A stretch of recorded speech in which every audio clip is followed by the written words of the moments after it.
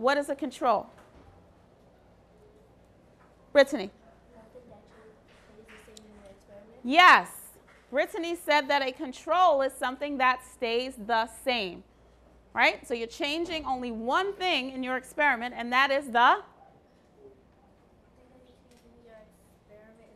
the covering. We're only changing the covering. Therefore, everything else in our experiment has to stay the same. So you are going to figure out with your team what is that list of things that has to stay the same. Go.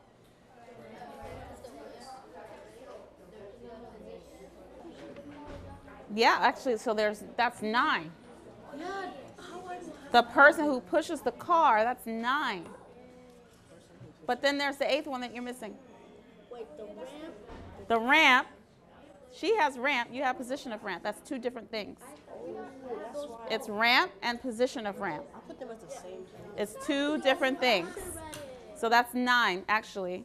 So the ramp and the position of the ramp are two separate things. Why? Why is that two different things? the ramp is the the, the, the, the ramp is by itself and the position of the ramp.